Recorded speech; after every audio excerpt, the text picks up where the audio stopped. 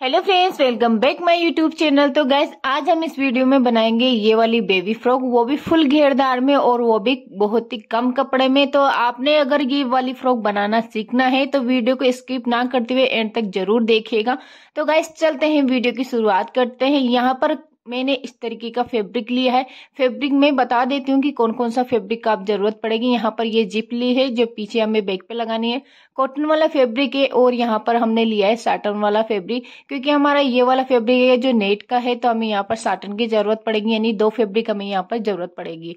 और ये मेरे पास यहाँ पर ढाई मीटर ही फैब्रिक है गैस और ढाई मीटर में इस तरीके की फुल घेरदार फ्रॉक मैं आपको यहाँ पर बताऊँगी। तो चलिए, सबसे पहले हम इसमें से जितना हमें चोली के लीजिए, उतना हम यहाँ पर फेब्रिक कट कर लेंगे, क्योंकि ये मेरे पास कम से कम डेढ़ मीटर है, इससे ज़्यादा मैंने इसको नहीं लिया है, ये डेढ़ मीटर ही फेब्रिक है, इसमें हमारा ये आसानी से हो जाएगा। इसमें से हम चोली के लिए कट कर लेंगे।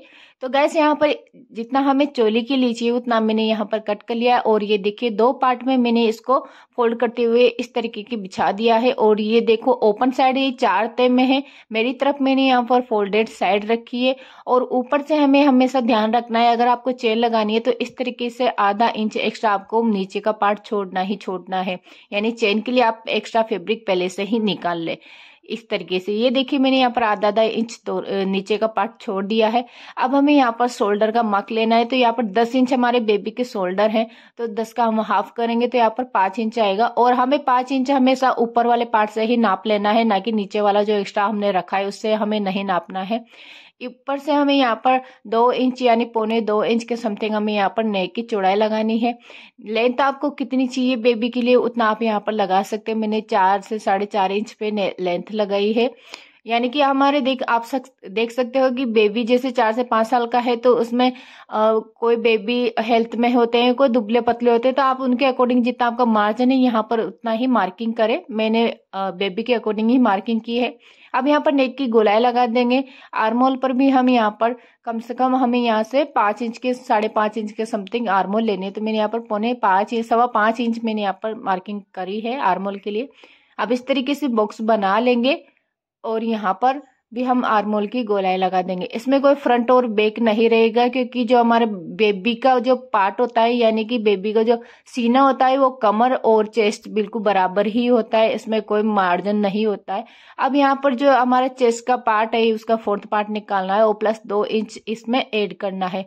तो चेस्ट हमारा बीस है, बीस का फोर्थ पार्ट निकालेंगे तो पाँच इंच कमर भी हमारी उतनी है तो कमर भी हम उतना ही ले लेंगे और दो दो इंच हम यहाँ पर मार्जिन का छोड़ देंगे। तो यहाँ पर इस तरीके से मार्जिन पे निशान लगा देंगे।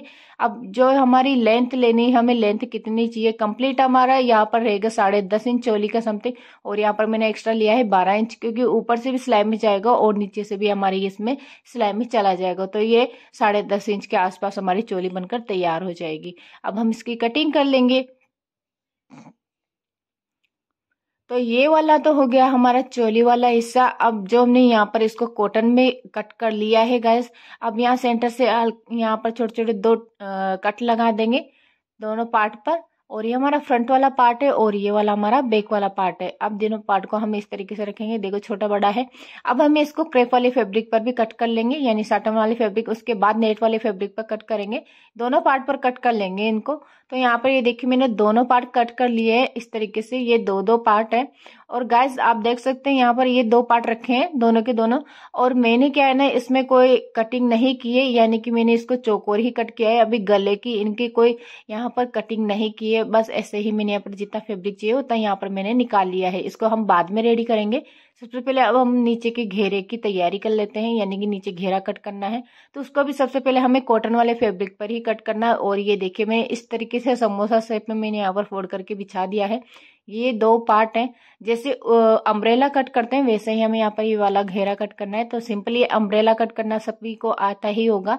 नहीं भी आता है तो बहुत ही आसान है। ये देखिए आप यहाँ पर, जितनी हमारी कमर है, उतना ही हमें यहाँ पर ऊपर कमर पे निशान लगाना है। कमर हमारी बीस ही तो यहाँ पर हम उसका फोर्थ पार्ट लगाएँगे।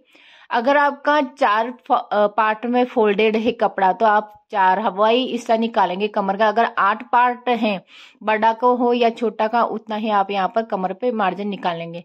अब हमें ऊपर चोली का दस इंच छोड़ना है, क्योंकि चोली उतनी है हमारी, उसके बाद कंप्लीट फ्रॉक की लेंथ कितनी है तो यहाँ पर हमारी कंप्लीट फ्रॉक की लेंथ है पच्चीस इंच तो हम यहाँ पर पंद्रह इंच पे इस तरीके से निशान लगाते जाएँगे।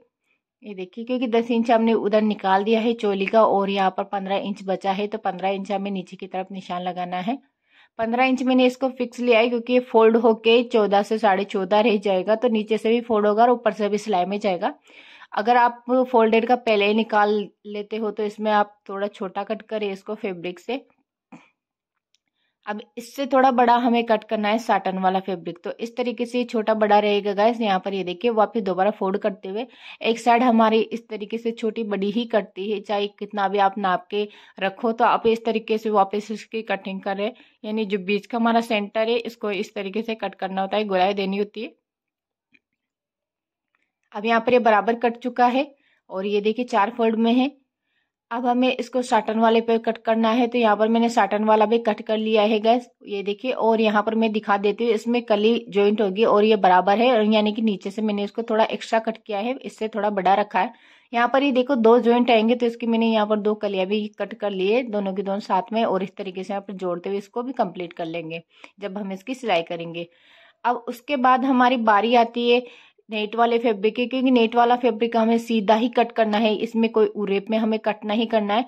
तो हमें जो हमने साटन वाला फैब्रिक लिया है और कॉटन वाला फैब्रिक लिया है, उसी से हमें यहाँ पर इसको एक्स्ट्रा कट करना है, यानी उससे हमें थोड़ा बड़ा कट करना है।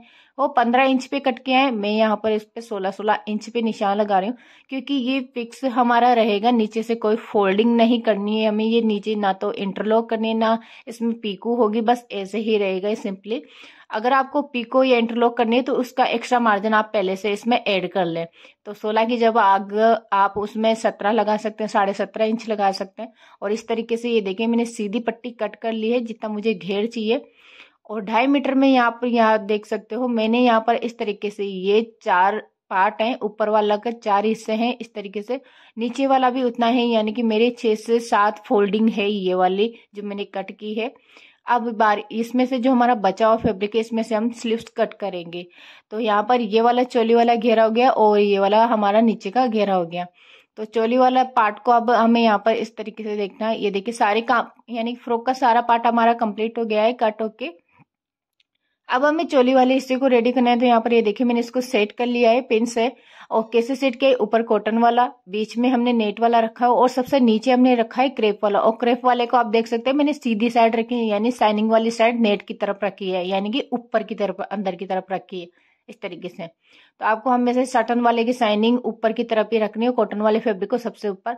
अब हम यहाँ पर गले पर सिलाई लगा देंगे, दोनों फेब्रिक पे। तो यहाँ पर ये देखिए, मैंने गले पर सिलाई लगा दी है। अब हमें यहाँ पर इसको अंदर वाले फैब्रिक को कट कर लेंगे, यानी गले की हम यहाँ पर कटिंग कर लेंगे। और इस पे छोटे छोटे हमें नोचेस लगाने हैं तो दोनों गले पर इस तरीके से कटिंग करनी है। अब हल्की हल्की यहाँ से हम कट लगा देंगे तो इसमें हम अंदर की तरफ़ फोल्ड कर देंगे। अगर आपको इसमें पट्टी अलग से लगानी है तो आप इस तरीके से ना जमाएँ। मैंने यहाँ पर अंदर से फोल्ड करना है, इसी तरीके से मैंने ये फोल्डिंग किया है। अब यहाँ पर हम गले से फिनिशिंग की सिलाई लगा देंगे इस तरीके से इसको पलट कर अंदर की तरफ़। अभी एक वाले हिस्से पर हमें सिलाई नहीं लगानी है, हमें दूसरे वाले हिस्से पर लगानी है और शोल्डर पे गुम सिलाई कैसे लगानी चलिए मैं आपको दिखा देती हूँ। सबसे पहले हमें नीचे का शोल्डर सीधा रखना है, यानी कि दोनों शोल्डर के यहाँ पर इस तरीके से कॉटन वाला फेब्रिक लेना है फैलाते हुए। ये देखिए सिलाई से सिलाई हमें मिलाना है और यहाँ से हम स्टार्ट करेंगे इसको सिलना। ध्यान रखना है, हमारा जिस शोल्डर का साइड है, वैसे ही हमें यहाँ पर कॉटन वाला फैब्रिक लेना है। ऐसा नहीं कि दूसरी साइड का आप यहाँ पर कॉटन वाला फैब्रिक यानी शोल्डर ले लिया और इधर चिपका दिया तो आप उल्टा गलत भी आप यहाँ पर सिल सकते हो। तो यहाँ पर ये देखिए, ये एक साइड का शोल्डर है, दूसरी साइड का शोल्डर भी हमें इसी तरीके से लेना है। यहाँ पर ये देखिए, पहले हमें कॉटन वाले फैब्रिक को इस तरीके, यानी शोल्डर को ओपन करके हमें इसको सिलना है। जब हम इसको फोल्ड करेंगे तो हमारी सिलाई अंदर की तरफ़ चली जाएगी। और यहाँ पर ये देखिए, मैंने एक्स्ट्रा अभी फिनिशिंग नहीं की, हम बाद में फिनिशिंग करेंगे। तो यहाँ पर ये देखिए, दोनों शोल्डर के आप देख सकते हो। पहले शोल्डर के अगर एक्स्ट्रा यहाँ पर कटेंगे तो मैं इसकी कटिंग कर देती हूँ दोनों साइड पे। और यहाँ पर ये देखिए, अच्छे से अंदर की तरफ़ आप देख सकते हैं, सिलाई नहीं दिख रही है, ऊपर से भी यहाँ पर सिलाई नहीं दिख रही है, बिल्कुल भी। अब हमें यहाँ पर जो हमारा गला है, उस पर हम किनारे पर एक सिलाई लगा देंगे तो अच्छे से ये सेट हो जाएगा यहाँ से। तो यहाँ पर ये देखिए, मैंने गले पर एक सिलाई लगा दी है। और अब हम यहाँ पर ये देख सकते हैं। ऊपर की तरफ़ आप देख सकते हो कितनी अच्छी सी फिनिशिंग आ रही है। अब हमें यहाँ पर सारी साइड से हमें इसको चिपका देंगे। चाहे तो आप यहाँ पर कच्ची सिलाई भी कर सकते हैं। तो पूरी साइड से मैंने यहाँ पर ये देखिए, चारों तरफ़ से मैंने इस पर सिलाई लगा दी है। बाकी इसमें यहाँ पर देख सकते हो और एक्स्ट्रा फैब्रिक भी मैंने यहाँ पर कट कर दिया है। आप चाहे तो इसमें फेविकोल से भी चिपका सकते हैं या फिर पिन से भी सेट कर सकते हैं। अब हमें यहाँ पर बैक पार्ट पे जिप लगानी है। तो यहाँ पर जो मैंने सेंटर पे कट लगाया था, उसी का ध्यान रखना है हमें, इस तरीके से वापस फोल्ड करना है, यानी कि कट को हमें मिलाना है, और यहाँ से इसके दो पार्ट करने हैं, बीच में से सेंटर से कट करते हुए। तो हम इसको यहाँ से कट कर लेंगे।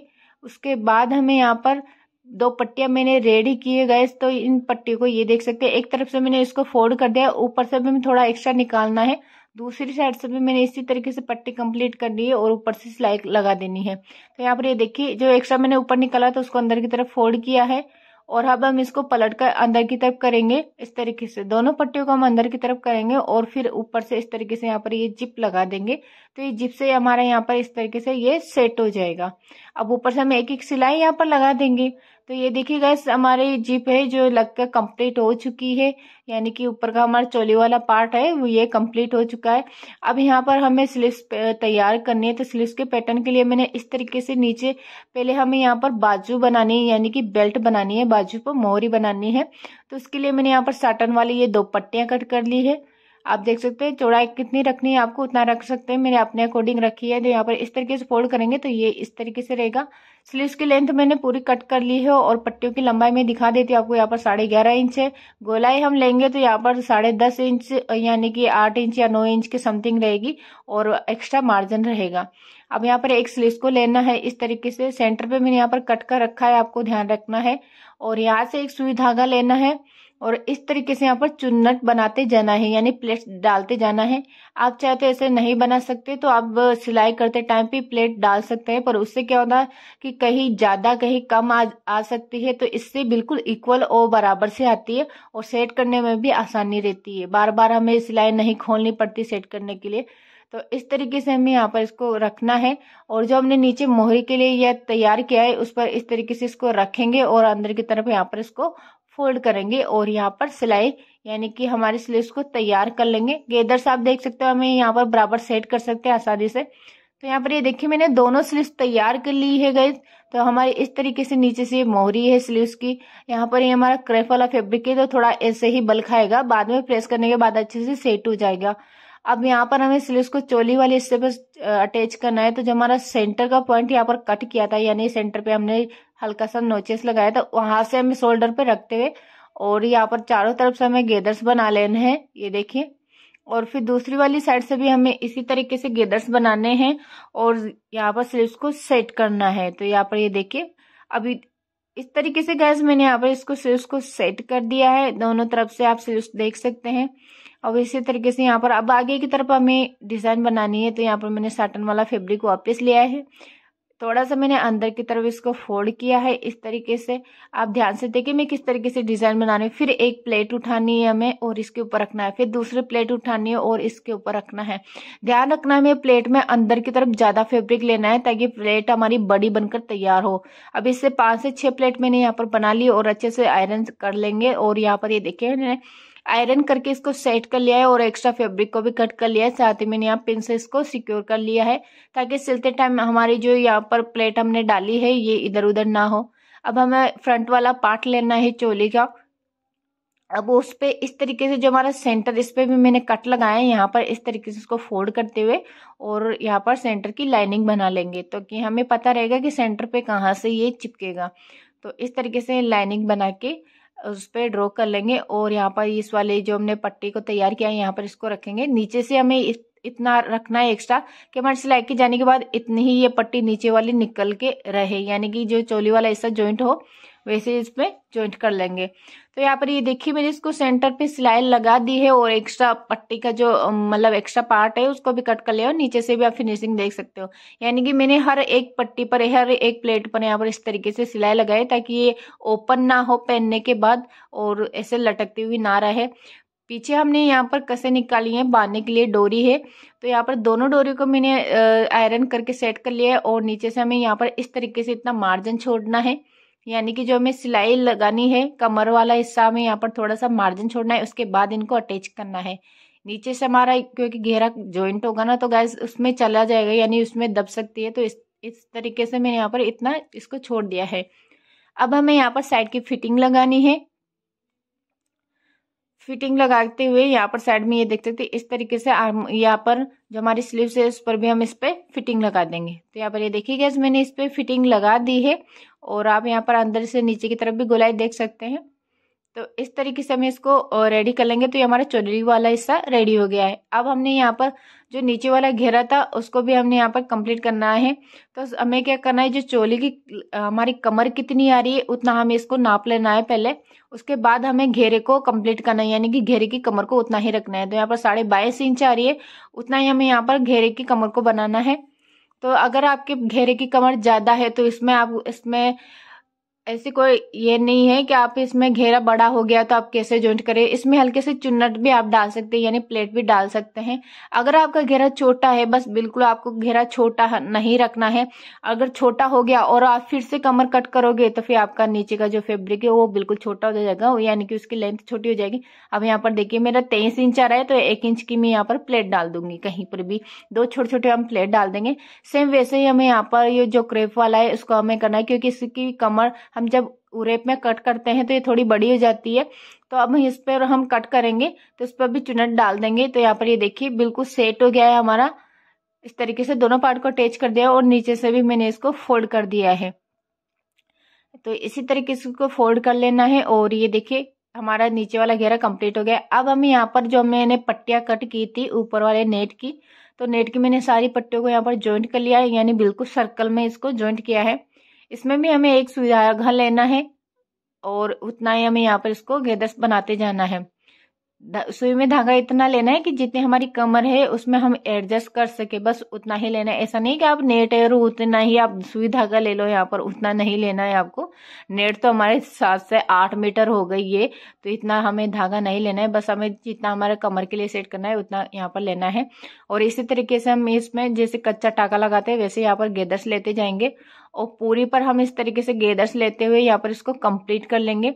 तो ये पर देखिए, मैंने इसको पूरे पर चुन्नट डाल दिए हैं और यहाँ पर ये देखिए, कमर के बराबर इसको गोलाई में ले लिया है। और यहाँ पर अब हमें इसको इसमें ज्वाइंट करना है। तो इस तरीके से यहाँ पर इसको सीधा रखेंगे चोली वाले हिस्से को और हम नेट को उल्टा करेंगे। तो यहाँ पर इस तरीके से हम सेट करते जाएँगे, बराबर से चुन्नट डालते जाएँगे इस तरीके से और फिर हम यहाँ पर कमर के हिस्से के यहाँ से इसको ज्वाइंट कर देंगे। तो इसको मैंने यहाँ पर ज्वाइंट कर दिया है। अब बारी आती है हमारे जो अस्तर वाला फैब्रिक है तो हमें यहाँ पर सबसे पहले ध्यान रखना है कि जो हमारा साटन वाला फैब्रिक है, वो नेट के नीचे ही आना चाहिए। ऐसा नहीं कि आप कॉटन वाला फैब्रिक नीचे लेके आ गए और साटन वाला नीचे रख दिया। तो इस तरीके से हमें इसको रखना है। अब यहाँ पर ये देखिए, मैंने इसको ज्वाइंट कर दिया है। ऊपर से साथ ही मैंने गले में फ्रिल भी लगा के रेडी कर दिया और ये देखो फाइनली हमारी फ्रॉक बनकर रेडी हो गई है। यानी फिनिशिंग यहाँ पर आप देख सकते हो फ्रॉक की बिल्कुल रेडीमेड जैसी आ रही है। अभी तो इसमें थोड़ा और डिज़ाइन करना बाकी है। तो यहाँ पर हमें इस तरीके का बो बनाकर तैयार करना है। तो बो के लिए मैंने यहाँ पर ये देखिए, दोनों फैब्रिक के यहाँ पर ज्वाइंट करके और आयरन से सेट कर लिए और इस तरीके से रखते हुए यहाँ पर इसको स्टिच करना है। और इसके बाद में हमें यहाँ पर सेंटर पे जो सिलाई हमने लगाई, यहाँ पर इसको अटैच करना है। तो यहाँ पर ये देखिए, मैंने बो बनाकर तैयार कर लिया है गैस और साथ ही मैंने यहाँ पर मोती लगा के इसको यहाँ पर सेट कर दिया है। तो मोती लगाने के बाद इसका लुक कुछ और ही आ रहा है गैस बहुत ही प्यारा लग रहा है। और आप देख सकते हैं, यहाँ पर फ्रॉक में घेर कितना आया है हमारे, वो भी ढाई मीटर फेब्रिक में इतना आप घेर यहाँ पर ला सकते हो। और रेडीमेड जैसे हमारे यहाँ पर फ्रॉक बनकर तैयार हुई है। तो गैस मैंने यहाँ पर आपको वीडियो में स्टेप बाय स्टेप बताया है। आप आसानी से ऐसी बेबी फ्रॉक बनाकर सीख सकते हो, यानी कि मार्केट जैसी बेबी फ्रॉक आप घर पे ही अपने बेबी के लिए तैयार कर सकते हो। तो फाइनल लुक मैं आपको दिखा देती हूँ कि कितना प्रीटी और इसका फाइनल लुक आ रहा है। मेरे का तो मन कर रहा था कि मैं ही पहन लूँ इस फ्रॉक को, पर मेरे नाप की है नहीं, क्योंकि मैं बहुत बड़ी हो रही है, बहुत छोटी है। और फाइनल लुक मैं आपको और दिखा देती हूँ, इसका बेबी के वेयर करने के बाद। तो ये, देखिए गैस फाइनल लुक इसको पहनने के बाद बिल्कुल भी नहीं लग रही होगी कि ये आपने स्टिच की है खुद से ही यानी कि खुद ने बनाई है। तो वीडियो कैसा लगा गैस अगर वीडियो अच्छा लगा हो तो मेरे चैनल को लाइक एंड सब्सक्राइब ज़रूर कर दीजिएगा ताकि मेरी नेक्स्ट वीडियो का नोटिफिकेशन आप लोगों को सबसे पहले मिल सके। तो मिलते हैं नेक्स्ट टाइम एक नई यूजफुल वीडियो के साथ। तब तक के लिए bye bye and thanks for watching my video guys